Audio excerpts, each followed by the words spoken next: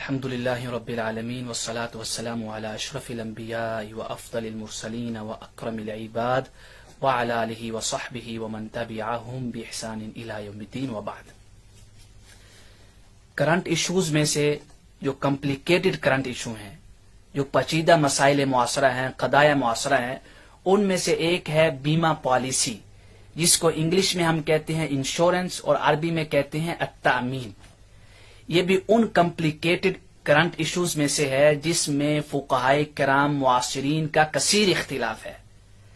एक बात याद रखें, ये जो बीमा पॉलिसी है, इसमें नस वारद नहीं है, यानी मसला मनसूसन आले नहीं है। कि शरीयत की कोई सरी नस हो, नाम लेके इसका हुक्म बयान किया गया हो तो जब ये मसला मनसूसन आले नहीं है, बल्कि मुश्तहदन फ़ी है तो इस वजह से फुकाय कराम के यहाँ इख्तिलाफ हो गया है। तो लिहाजा जो भी दूसरे के मद्दे मुकाबल अपनी राय अक्स दे या उसके मुखालफत में दे या इख्तिलाफ करे उसके साथ तो दोनों एक दूसरे को गाली गलोच नहीं करेंगे सबो शितम नहीं करेंगे, जो जो कि कायदा मारूफ है फोकाय कराम क्या मुश्तादुल्फी में, जो मसाइल हैं। और इंश्योरेंस जो है, बीमा पॉलिसी या तामीन, इसके फिर कई टाइप्स हैं, अनवा हैं, अकसाम हैं। एक तो करवाने के एतबार से, और एक जिस पे करवाई जाती है, उसके एतबार से। करवाने के एतबार से इसकी तीन किस्में हैं मेन टाइप्स जो हैं। एक को कहते हैं अत्तामीन अतबादुली अत तबादली ये होता है कि बाज इलाकों में विलेज में कंट्रीज़ में सिटीज़ में कुछ लोग मिल के मनी जमा करते रहते हैं। उनका मकसद ये होता है, उनका एम ये होता है कि जब भी किसी को कोई हादसा पेश आएगा तो हम उसको ये रकम रिटर्न करेंगे, उसकी हेल्प के तौर पे, उसके साथ हेल्प करेंगे मुसादा करेंगे, मदद करेंगे। इसको कहते हैं तामीन तबादली ये जायज़ है बिल इतफाक दूसरी जो टाइप है, किसे में? अतामीन उल इज्तिमाई। अतामीन उल इज्तिमाई, ये वो उस इंश्योरेंस को कहते हैं, बीमा पॉलिसी को कहते हैं, जो मुल्क अपने बाशिंदों को, अपने अंदर रहने वाले जो सुकान हैं, जो लोग होते हैं उस मुल्क के, उनको देता है, जो खतरा पेश आ जाए उसकी तलाफी के लिए। जैसे हमारे पाकिस्तान में भी अक्सर होता है कि हुकूमत पे करती है। किसी हादसे के वक्त लोगों को पाँच पाँच लाख, दो दो लाख, जो हसब इस्तात हुकूमत की हो, वो उसकी तलाफी करती है। तो इसको कहते हैं तामीन उल इज्तिमाई। यानी इंश्योरेंस जो होती है कंट्री की तरफ़ से, ये भी बिल इतफाक जायज़ है, क्योंकि ये एक मुसादा है, हेल्प है, मदद है। हाकम वक्त रियाया की मसरत के लिए पैसा खर्च कर सकता है। तमाम फुकाहा का इतफाक है। रही जो तीसरी टाइप है, उसको कहते हैं तामीन तिजारी, यानी ट्रेडिशनल जो इंश्योरेंस है ये जो हम बैंक में कराते हैं, या लाइफ इंश्योरेंस के साथ जो हमारी बीमा पॉलिसी होती है, ये वो कॉम्प्लिकेटेड मसला है जिसमें मुआसर जो फोकाय कराम है, उनके यहाँ इख्तिलाफ है। जिसका हुक्म आप बाद में बयान करते हैं। फिर जिनके ऊपर इंश्योरेंस करवाई जाती है, उसकी भी कई किस्में हैं। एक, आप अपनी लाइफ की इंश्योरेंस करवाते हैं, एक, आप अपनी गाड़ी की इंश्योरेंस करवाते हैं एक आप कहीं वर्क करने जाते हैं या वीजे के लिए अप्लाई करते हैं तो वो कंट्रीज़ की डिमांड होती है रिक्वायरमेंट होती है कि आप इंश्योरेंस का फॉर्म सबमिट करवाएँ साथ। तो ये करवा, ये जिस पे इंश्योरेंस करवाई जाती है, उसके एतबार से किसमें है? ये बात भी अपने जहन में क्लियर कर लें। तमाम फुकाय मुआसरीन जो है, उनका इतफाक है कि अगर कानून है, आपके पास इख्तियार नहीं है, बल्कि आप मजबूर हैं इंश्योरेंस करवाने में जैसे आप वीजे के लिए अप्लाई करते हैं तो सम कंट्रीज़ आई थिंक अब तो सब कंट्री जो है वो आपसे डिमांड करती हैं इंश्योरेंस फार्म की क्योंकि वो भी साथ सबमिट करवाएँ। और बाद जो बड़ी कंपनीज़ हैं, वो भी आपसे डिमांड करती हैं इंश्योरेंस फार्म की। इसी तरह गाड़ी जब आप खरीदते हैं तो जब लाइसेंस बनवाने के लिए जाते हैं तो लाइसेंस वाला जो हमारा डिपार्टमेंट होता है, हुकूमत का, वो भी डिमांड करता है कि आप इंश्योरेंस जो है वो फार्म साथ जमा करवाएँ। ये जो कानून इंश्योरेंस करवाना ज़रूरी होती है, उसमें आप मजबूर हैं तो तमाम फुकहा के यहाँ बिल इतफाक वो इंश्योरेंस करवाना जायज़ है। क्योंकि ज़रूरत है तो कायदा फिकिया है, जो कुरान की साय से इन्ना हर्रमालकुमलमईतमखनजीर इससे निकाला गया है कि अदरूरात तबीहल महजूरात। कि ज़रूरत जो है बाज हराम करदा चीज़ों को हलाल कर देती है, ज़रूरत के तहत। लेकिन जेन में उनके यहाँ यही है कि ये रखना चाहिए कि ये चीज़ जायज़ नहीं है, लेकिन ज़रूरत के लिए हम कर रहे हैं। और उनके यहाँ यह भी है कि जब आपने ज़रूरत के तहत वो इंश्योरेंस करवाई है तो आप उसके फायद बेनिफिट जो प्रॉफिट वगैरह हैं, वो भी आप यूज़ कर सकते हैं, उसको ले सकते हैं। कोई हरज नहीं है। रही जो इख्तलाफ की बात है, वो उस मसले में है, एक तो ट्रेडिशनल इंश्योरेंस हो, जो आप लाइफ इंश्योरेंस के साथ या बैंकों के साथ करवाते हैं, और वो आपको हालत इख्तियार में आप करवाएँ, यानी आप खुद मुख्तार हों। तो इस सूरत में इख्तिलाफ है। बास फुकाह कराम कहते हैं कि ये जो इंश्योरेंस करवाना है, ये हराम है। चाहे वो गाड़ी की हो, चाहे वो लाइफ की हो, चाहे वो वीज़ा के लिए हो, अगर आप खुद मुख्तार हैं तो नाजायज है। क्यों? उनके दलाइल हैं। उनकी जो पहली दलील है वो कहते हैं कि इसमें जुआ का शुबा है। जुआ में क्या होता है कि आपने अगर दस हज़ार पेमेंट की है गेम खेलने के लिए जुआ वाली, और उसके बदले में आपको पचास हज़ार मिलेगा अगर आप गेम जो है विन कर जाते हैं, जीत जाते हैं। लेकिन जुआ यह है कि अगर आप हार गए तो आपको वो दस हज़ार भी नहीं मिलेगा, और विन की जो रकम रखी गई थी वो तो मिलेगी नहीं, क्योंकि आपने विन किया ही नहीं, आप जीते ही नहीं। और अगर आप जीत गए तो आपको दस हज़ार से ज़्यादा रकम मिल रही है। तो लिहाजा जुआ है, और इंश्योरेंस में भी ऐसे ही होता है। तो लिहाजा ये नाजायज है। और दूसरी दलील उनकी यह है कि ये सूद है। सूद में क्या होता है कि आपने किसी को दस हज़ार दिए अगर आप दस हज़ार के बदले बीस हज़ार लेते हैं तो सूद है। इंश्योरेंस में भी आप रकम पचास हज़ार अदा कर रहे हैं बैंक को या लाइफ इंश्योरेंस को, आपके रकम उनके पास पचास हज़ार है जो आपने पेमेंट की है। लेकिन वो आपको हादसे के वक्त पचास हज़ार से भी जायद रकम देते हैं। तो लिहाजा जायद रकम लेना सूद है। इसमें फिर वो तीसरी दलील ये देते हैं यहाँ पे मजकूर है गरर। गरर कहते हैं कि जिसकी इंतहा मालूम ना हो, जिसके सारे जो दवाबत है वो मालूम ना हो।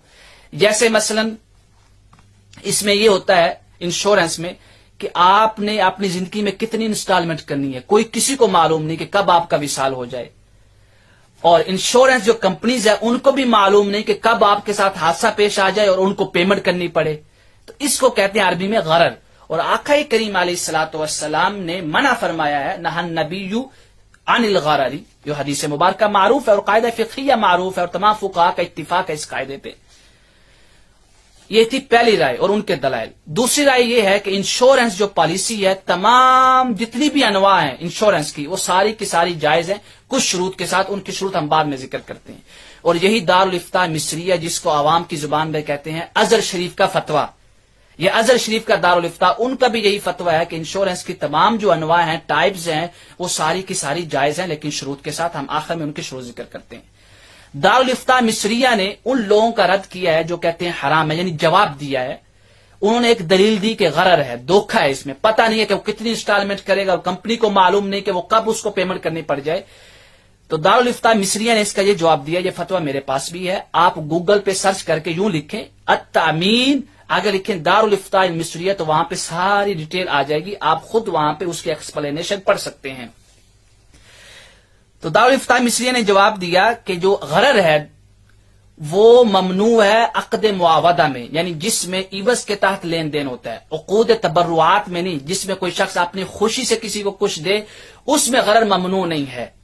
और जो इंश्योरेंस है, ये उकूद तबर्रुआत में से है, अकद मुआवदा में से नहीं है, लिहाजा गरर की बुनियाद पर इंश्योरेंस को नजायज नहीं कहा जाएगा। फिर उन्होंने यह कायदा फिकिया नकल किया इमाम किराफी से और आगे हवाला दिया हाशे बिन आबिदीन का और दीगर कुतुब फिकिया का। दूसरी दलील जो दी नजायज कहने वालों ने वो जुआ की, दारुल इफ्ता मिसरिया ने जवाब दिया कि जुआ नहीं है। जुआ क्यों? कि वहाँ मालूम नहीं होता किसी को, यहाँ पे जो तामीन है, बीमा पॉलिसी इंश्योरेंस है, इसमें सारे मामला तय होते हैं। और इसमें यह भी नहीं है कि आपकी जो रकम पे करदा है वो जाया हो जाए, बल्कि आपको वापस मिलती है। बाद सूरतों के अलावा, तीसरी जो दलील है, वो सूद उन्होंने दी के नजायज है। दारुल इफ्ता मिसरिया ने इसका जवाब दिया कि सूद की बुनियाद पर भी आप जायज़ नहीं, नजायज नहीं कह सकते, क्योंकि इंश्योरेंस में सूद नहीं है। सूद पे तो सबका इत्तेफाक है कि हराम है, लेकिन इख्तिलाफ है कि सूद मुतहक कैसे हो, सूद कैसे पाया जाए, इसमें इख्तिलाफ है। तो लिहाजा जो न, जो जायज़ कहते हैं बीमा पॉलिसी को उनके यहाँ जो बीमा पॉलिसी है इंश्योरेंस है उसमें सूद नहीं पाया जाता। दारुल इफ्ता मिसरिया ने इसका यह जवाब दिया कि इसमें सूद इस वजह से नहीं है कि अकद तामीन जो है इंश्योरेंस जो है उसमें जो ज़्यादा रकम दी जाती है वो अजल मुद्दत के मुकाबले में नहीं बल्कि एक खतरे के मुकाबले में खतर यानी एक्सीडेंट हादसे के मुकाबले में दी जाती है हेल्प के तौर पे। तो ये तबर्रो है और तबर्रो में ज़्यादा रकम देना जायज़ है। सूद नहीं है।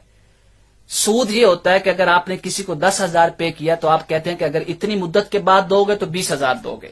या शुरू में ही आप फिक्स कर लेते हैं तो वहाँ पे जो आप रकम ज़्यादा ले रहे हैं, वो किसी हादसे के तहत नहीं, बल्कि मुद्दत के तहत ले रहे हैं कि आपने उनको उधार दिया है। उधार के तहत ले रहे हैं।